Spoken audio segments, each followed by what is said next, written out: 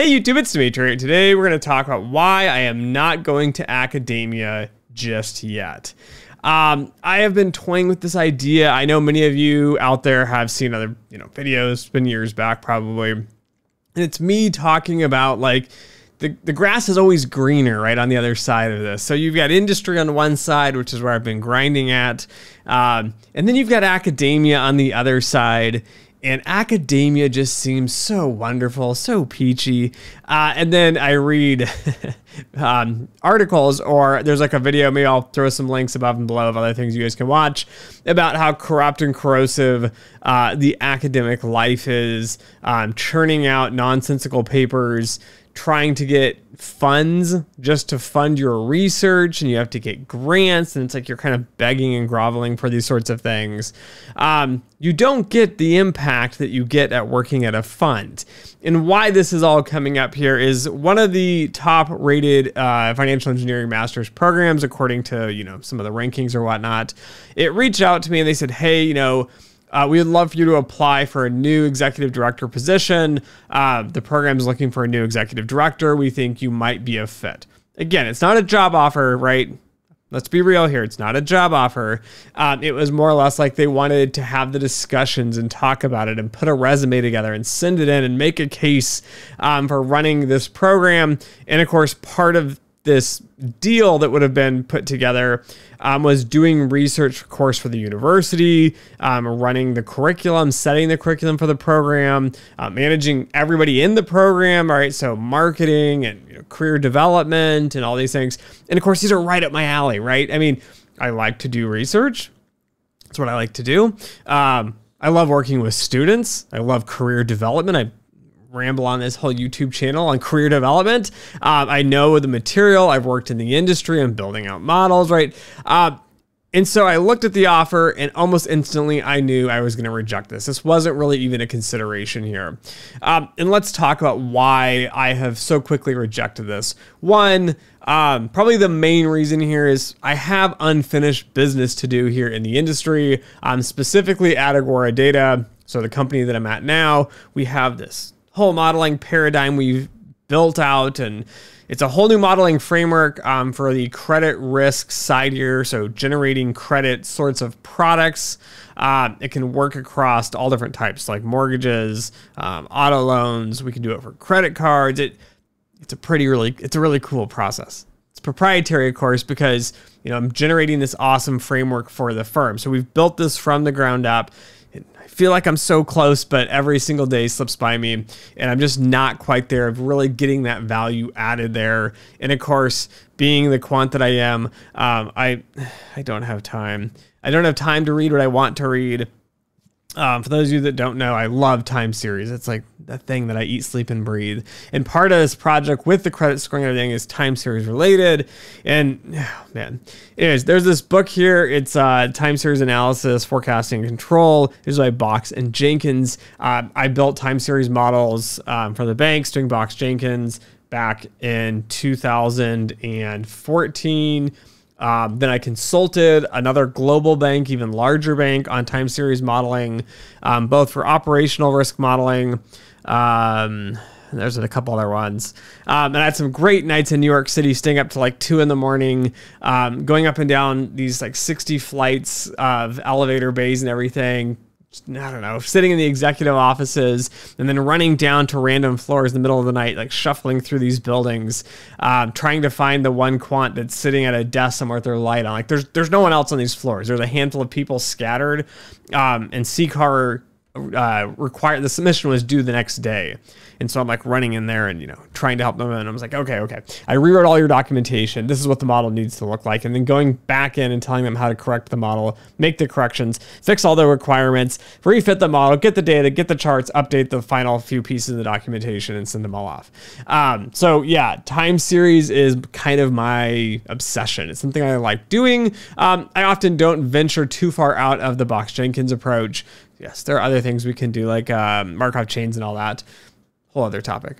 Um, but I have all these problems to do. I have all this reading to do. I have, in my mind, right, as a quant, I have problems I want solved, right? I, I get the business wants them solved, you know, pat on the back for that. But I want to solve them. Uh, I have things that I want to do, and unfortunately, academia typically doesn't have good problems, right? I mean, all these ideas, all these models, all these frameworks that I'm building out that haven't been done before. Um, it's because uh, we we have an industry and we have real data and I have real issues because we have a real problem here. So the number one reason why I turned this down and didn't even consider it, didn't even pursue it, was solely for the fact that I have problems in the industry I want solved. Now, the second piece of this is the Peter Carr piece just haunts me. So I'll play a clip here. I was leading a pretty big quant group called Market Modeling, um, about 70 people in four different offices around the world. Um, and it was very time constrained. Okay. Like, um, you just have no time. And, uh, mm-hmm. you know, so when I started the role in 2010, I mean, I basically did nothing but, you know, respond to email and meet people for a year. And um, it was kind of like not so satisfying. So, um, so a friend of mine named Attilio Meucci, he, uh, he sent me an email just sort of asking a technical question. And um, like to my surprise, I spent the next three days trying to answer his question, ignoring everything else. and you know, it was like uh, it's interesting, yeah. yeah, I mean, I was just you know, so so I kind of at that point realized it's I'm really an academic at heart. But Peter mentions you know, as you get to the senior levels, uh, you start to go through this process where it's like he's just looking at emails, and as he's looking at emails, he looks over the last year. He's he's just doing management work now. Like he's not doing the quant work here. Um, and I feel like that often now, which is you know that leans me towards the academic side a bit. Um, yes, I am the head of the department. Yes, I run all model development, model validation, quantitative strategy, and now model implementation. Um, I'm covering almost full stack at this point.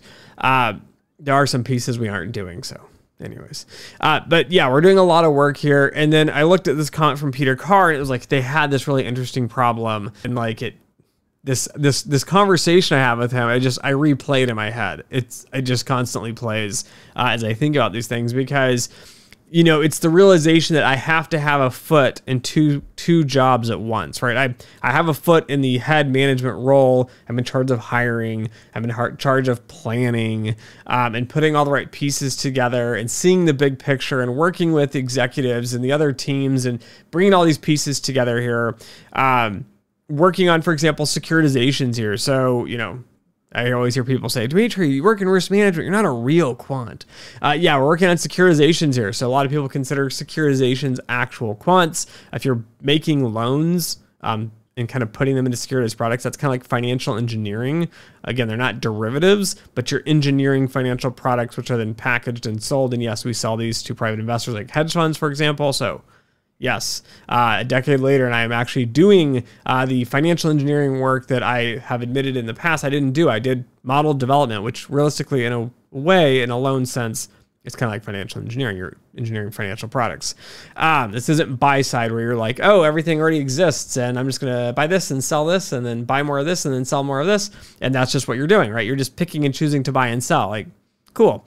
Um, but no, we're actually engineering financial products and setting thresholds and limits and risk metrics around this framework here.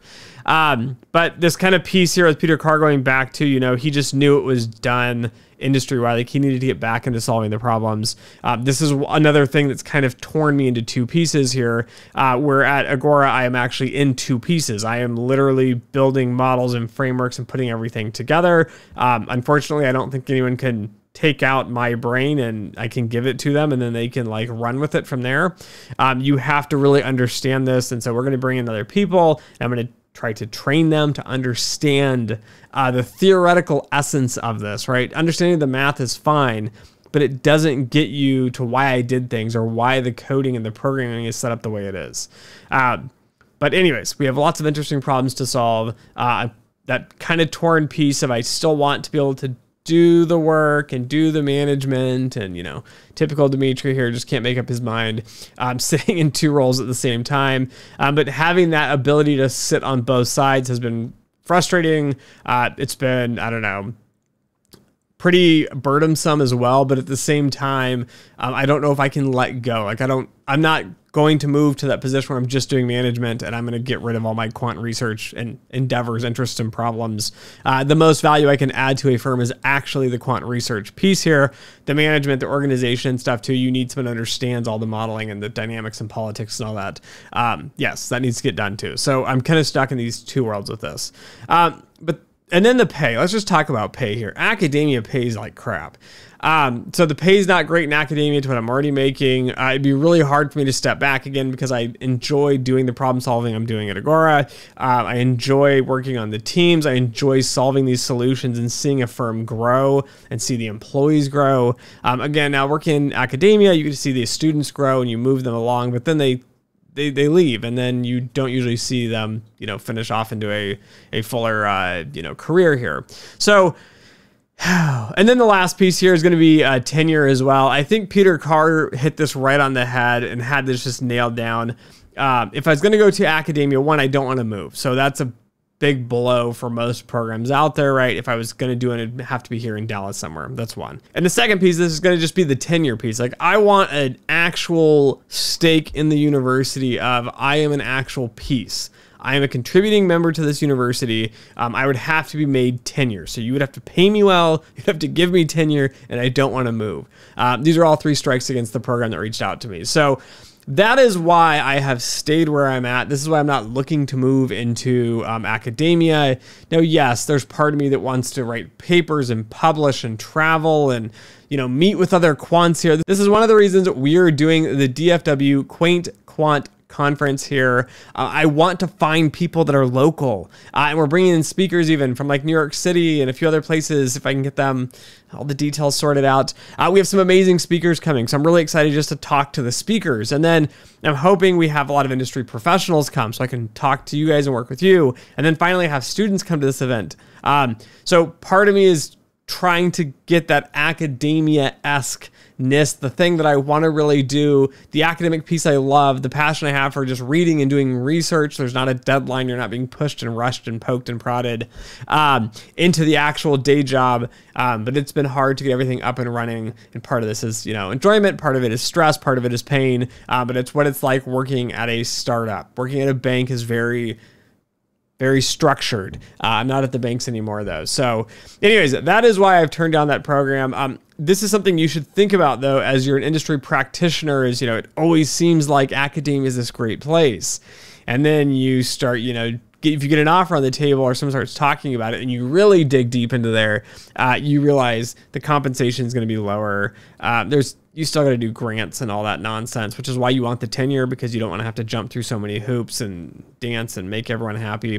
Um, and then you can really fix the program and make it great, which most programs suck because there's not someone that's really qualified to put the program together, design it, and then tell the professors, you know, go do your own thing. Uh, we don't want you in this program. We want these classes and bring in industry practitioners or really good academics. So, anyways, those are my thoughts here. Something to think about if you were kind of toying with the idea of academia versus industry. I still think industry trumps it. Um, academia, oh, it's it's the thing I, I always look at is the grass is always greener. It just it looks so amazing. It looks so beautiful. Uh, especially when I travel back to like University of Michigan. I miss the campus. I miss the feel. I miss the students. Um, but I'm still getting this a lot of the conferences that I go to, like the Princeton conference last year, um, and the FinHack conference this year, and last year at UTD. Like I'm still trying to get that feel and that academic um, kind of fun and excitement there. So, anyways, thanks for listening. Thanks for watching, and as always, until next time.